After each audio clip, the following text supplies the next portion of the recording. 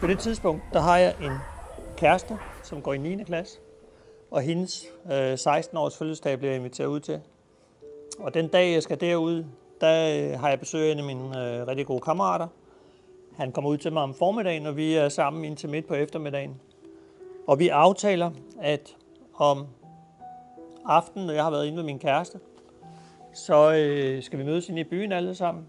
Og øh, han kører så hjem, og øh, den her dag, hvor det er min øh, kærestes fødselsdag, der er det også samtidig min fars fødselsdag. Så hjemme, hvor vi bor, der øh, får vi gæster. Og øh, da vi nærmer os spisetid om aftenen, så siger jeg farvel til gæsterne, til mine forældre og til min lille søster. Sætter mig ud i bilen og kører på vej ud til min kæreste. Og på vejen derude, der har jeg en aftale med en anden pige, der bor i nærheden af, hvor jeg bor, om at øh, hun skal køre med ind til byen. Det var sådan, at øh, det var i februar måned. Det havde været meget snevejr. Og øh, når man har 8 km ind til byen, så, øh, så vil man som regel gerne have nogen at kunne køre sammen med. Og øh, da jeg kommer ud til hende, så har hun sin kæreste på besøg. Og de øh, hopper begge to ind i bilen, og hun spørger så, om jeg kan have hendes cykel med. Så det kan jeg godt. Står ud af bilen, sætter cyklen bagpå, og så kører vi videre øh, ind imod byen. Og øh, det her det er sådan en, øh, en vej, hvor ja, man må køre 80 km i timen. Og øh, da jeg øh, kommer til den her jernbaneoverskæring, øh, der overhaler jeg en anden bil. Og det er faktisk det sidste, jeg kan huske øh, fra den her køretur. Der sker så det, at jeg kører videre ud af vejen, og så kan I se op i toppen, der er ligesom vejen drejer til højre.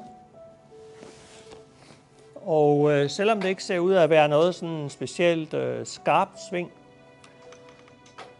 så sker der det, da jeg kommer herop, at øh, der mister jeg kontrollen over bilen. Og bilen den øh, begynder sådan at dreje rundt om sig selv, og så kurer den ud i noget sne, der er ryddet væk.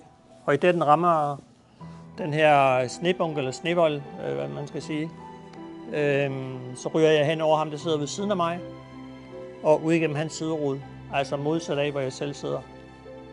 Og øh, der ligger jeg så ude ved siden af bilen, og øh, den bilist, som vi lige har overhalet, han kommer jo bag ved os, og han har så set ulykken, så han ringer 112.